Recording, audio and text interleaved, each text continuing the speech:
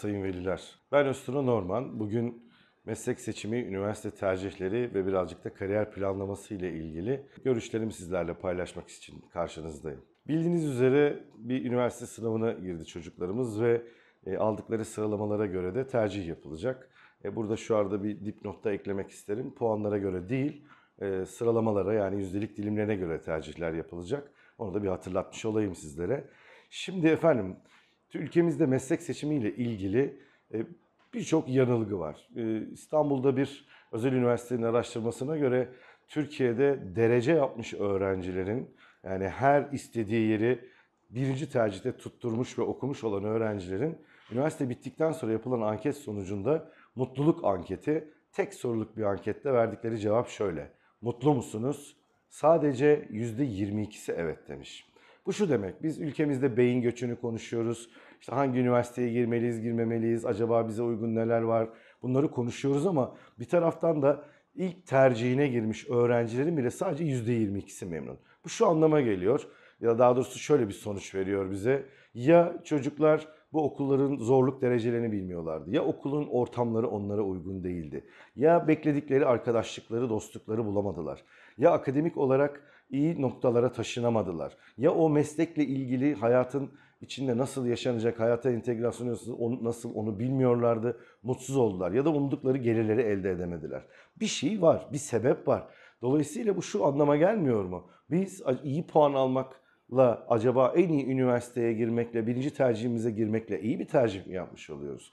Kesinlikle hayır. Yıllar önce bir öğrencim, e, ilk bine girmiş bir öğrencimle tercih görüşmesi yaparken dedim ki evet ne düşünüyorsun ilk bindesin bakalım hadi konuşalım dedim. Hocam dedi ben mecbur tıp yazacağım. Niye mecbur tıp yazıyorsun dedim. E dedi bu puanı ziyan mı edeyim? Yavrum dedim sen bu mesleği istemiyor musun? Yani bence de dedi hekimlik dedi zor bir meslek dedi okuması uzun dedi meşakkatli dedi. Çıktığımda işte dedi bir sürü dedi şehirleri dolaşacağım gideceğim zorunlu hizmet var. Yani dedi sürekli okumak zorundasınız. Araştırma görevliliğinden doçent olacağım, profesör olacağım. E dedim yani sen bu mesleği o zaman çok da sevmiyorsun. Çok sana göre de değil yani. Ya bana göre değil ama dedi bu puan dedi ziyan olsun? E evladım dedim. Önce dedim kendini ziyan edeceksin. Ondan sonra başkalarını ziyan edeceksin. İşini zevksiz, mutsuz yapan birisinin yaratıcı olması, üretken olması mümkün müdür? Sen dedim asık suratlı bir doktor olacaksın. Dikkat edin sayın veliler bizim ülkemizde birçok insan mutsuz. Bu yaptığımız işi sevmemekten ya da yaptığımız işten geçinememekten ya da baştan yaptığımız yanlışlıklar, yanlış tercihler sebebiyle böyle. Bir başka konu da şu yani e, 100 milyonluk neredeyse bir ülke olduk artık. Dolayısıyla 100 yıldır futbolda bir 11 tane dünya şampiyonu olacak top oynayan futbolcuyu bir araya getiremedik. Burada iki hata olabilir. Ya biz yetenekleri doğru bulamıyoruz. Aslında gerçekten çok yetenekli insanlar futbolcu olmuyorlar. Ya da yetenekleri buluyorsak da onların eğitim süreçlerinde bir yanlışlık yapıyoruz ki işi bir türlü bu noktaya taşıyamıyoruz. İşte bizim futboldan verdiğim bu örneği tıpta da düşünebilirsiniz, öğretmenlikte de düşünebilirsiniz, yazılımda bilgisayar mühendisliğinde de düşünebilirsiniz. Bu sebeple çocuklarımızın hayat başarısı için mutlaka onlara sizin şu konuda destek oluyor olmanız lazım.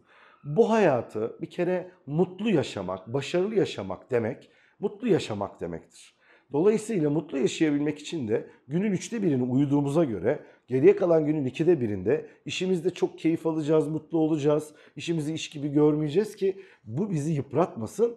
Dolayısıyla ve bir de iyi de bir gelir elde edebilelim. En azından beklentilerimiz kadar ki günün geride kalan o diğer üçte birinde yani sosyal hayatımda da mutlu olabileyim. Mutlu insanlara ihtiyacımız var. Bunun için işini severek mutlu yapacak çocuklara ihtiyacımız var. Bu çocuklarımızı mutlaka yeteneklerini, isteklerinin ne olduğunu öğrenip ona göre yönlendirme konusunda cesaret vermemiz gerekiyor. Sizin doğrularınızla geleceği şekillendirmek mümkün değil. Bana hep geleceğin mesleklerini soruyorlar. Verdiğim cevap şu. Valla bugünden 10 yıl sonranın mesleğini tahmin edebilene helal olsun diyorum. Çünkü o kadar hızlı bir değişim, o kadar hızlı bir dönüşüm var ki şunu düşünebiliriz ama hangi meslekler ileride nasıl yok olacaklar? Ben bir video izlemiştim. Almanya'daydı galiba bir fabrika. içinde insan çalışmıyor. Daha önceden bu fabrikada belki de onlarca mühendis ve yüzlerce işçi vardı. Bir taraftan paletlerle hazırlanmış böyle vidalar, kaportalar, civatalar neyse diziliyor. Kapılar kapatılıyor. Birisi düğmeye basıyor ve o robotlar birleştire birleştire diğer taraftan istedikleri üretimi yapabiliyorlar. Burada 3 var diye çalışabiliyorsunuz çünkü insana ihtiyacınız yok.